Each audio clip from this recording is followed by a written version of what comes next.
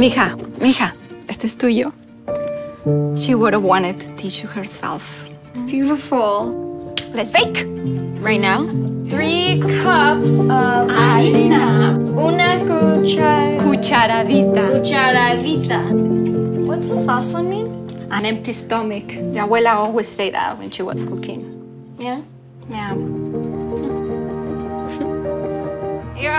Give more than a gift. Etsy.